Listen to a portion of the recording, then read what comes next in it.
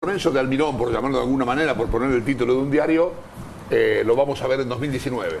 Digamos, para, para tener una idea más acabada, para que los hinchas de San sepan que un equipo con tu sello, con el estilo que vos pretendés darle, recién el año que viene. Bueno, sería para mí sería muy fácil quitarme esa responsabilidad de decir eso, pero yo tengo que jugar contra Bell el, fin de semana y es un partido importante y después viene el clásico. La gente no, va a entender eso, el clásico hay que ganarlo.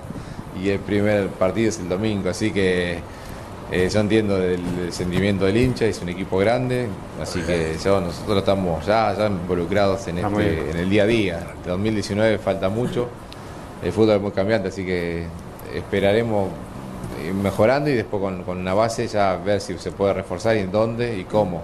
Pero hoy pienso nada más que en el fin de semana. Eh, Jorge, ¿cómo te va? Kai habla. Primero, bienvenido. Hola, Kai, ¿cómo le va? Bienvenido a la selva. Escuchá, Gracias. Eh, tenés dos partidos tremendos, porque son dos, partidos muy difíciles, sin nada de entrenamiento. Decime en dos o tres cositas. ¿No lo extraña? ¿No extraña, ¿No extraña estar en la selva? sí, a veces sí. pero no, te escucha, Kai. Kai, está, Kai ya está, ya es periodista, Jorge. Jorge, no, te digo, de, eh, como tenés poquito tiempo o nada, dos partidos muy complicados, decime en un par de cosas que vas a hacer hincapié. Porque no le podés eh, aplicar todo de golpe. Decime dos o tres cosas que tenés pensado para estos dos partidos, acomodar tu equipo.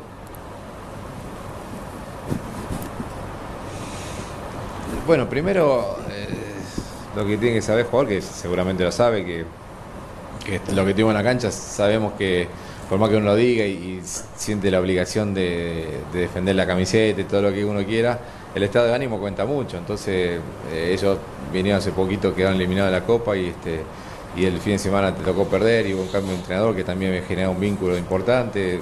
El estado de ánimo no es el mejor, entonces esto es profesional, esto es, muy serio y hay que levantarse. Eh, es lo primero que tenemos que hacer. comprometerse con, primero, a ver, jugar bien, hay, muchas muchas maneras de jugar bien y, encierran muchas cosas, pero primero que tener que hoy tenemos que ser humildes, tenemos que correr porque vamos a enfrentar a Vélez, que es un equipo que es dinámico, que te presiona, que te juega mano a mano en, todos los sectores y viene con confianza y si uno flaquea en eso la puedes pasar mal.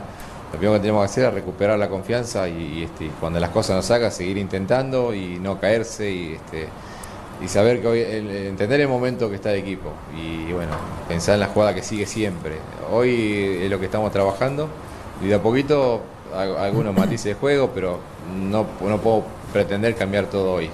Simplemente que el equipo recobre la confianza, que entienda dónde, a qué equipo representa y, este, y buscar resultados. Después, de a poco, el, hecho de salir jugando, todo eso siempre se trabaja un poquito, pero no hay obligación hoy de eso, porque creo que el equipo se sienta con confianza y no exponer a nadie hoy.